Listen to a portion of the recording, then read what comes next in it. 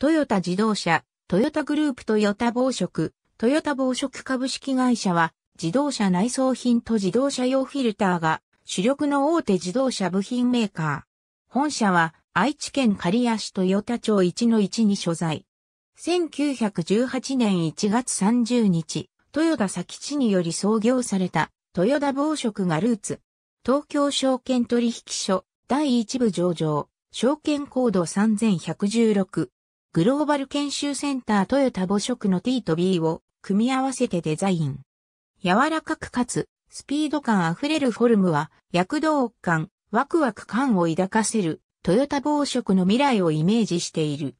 北中南米地域中国地域アジアオセアニア地域、欧州、アフリカ地域以下は、関係会社の共同出資などを行っている会社である。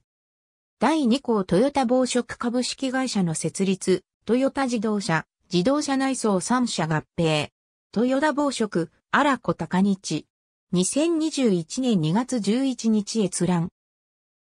北京省、トヨタ暴食が初出展、移動空間モデルなどを出品。新型、クラウンのハイブリッドシステム、モーターコアは、トヨタ暴食が供給モノスット2013年2月1日、北陸新幹線の最高級座席にトヨタ社の技術鉄道で初採用3機ビストヨタ暴食、BMW からシート初受注樹脂骨格の EV 向けトヨタ暴食、企業内託児所開設トヨタ暴食が、航空機シート全日空が共同開発、6月から使用2015年11月1日付、組織変更及び人事動について、競争力強化に向けたシート骨格機構部品事業集約トヨタ暴食、欧州における事業再編内装事業の一部売却とコア事業で合弁会社を設立、トヨタ暴食、松田系2社と米に共同出資会社、日本経済新聞ニュースサイト2019年11月14日、